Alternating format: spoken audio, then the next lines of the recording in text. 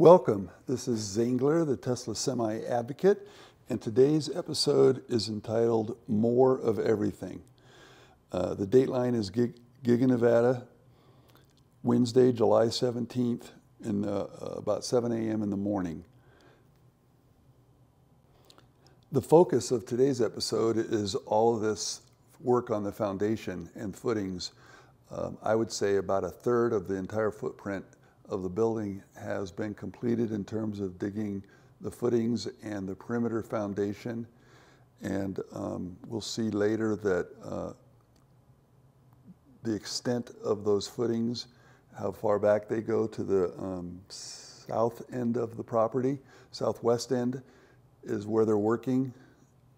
They started at the northwest end and they've worked all the way down, back to the southwest end, and now they're going toward working their way east.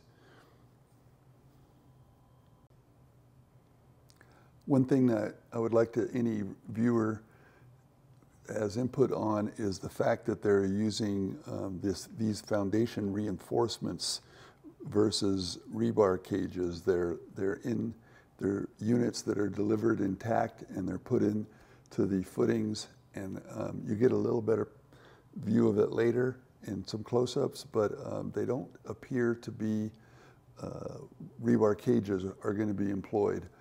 And I'm sure someone out there with construction experience may know about it. I've mentioned before, there's the same similar uh, reinforcements that they're putting in on the I-80 road improvement over in California to prevent the diesel trucks from uh, and uh, heavy, heavy, heavy trucks with chains from digging those grooves into the um, pavement. In any event, there's no cement yet, but that is, but there is a batch plant nearby, and um, when we start seeing cement being poured, that'll be another uh, milestone. The, another milestone will be the day that we see cranes show up, and those cranes will be to move to place the pilings and uh, and the the steel girders that will um,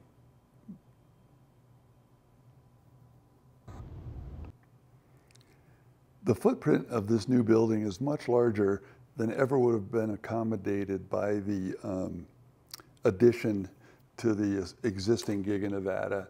And that is probably one of the biggest reasons why that rendering that we saw uh, last year with the completed and filling out of the Giga Nevada building was um, suspended in favor of this whole new separate building.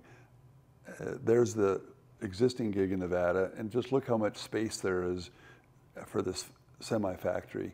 I do believe that the uh, existing Giga Nevada building will someday be completed and be pictured, but uh, it was not enough space for the Tesla Semi.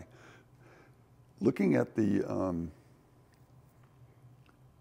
footings and the exterior perim the perimeter foundation, I'm counting a clear lane and an assembly line as you go from west to east. And so far, there's enough room for four assembly lines.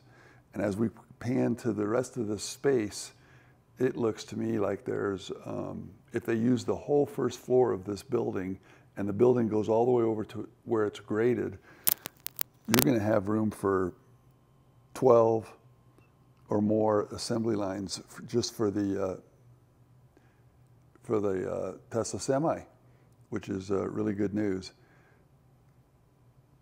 This is a look at some of the, the materials that were delivered over the past couple weeks. And again, I can't emphasize enough, enough if you've been following along with me how slow, seemingly slow the progress was since December.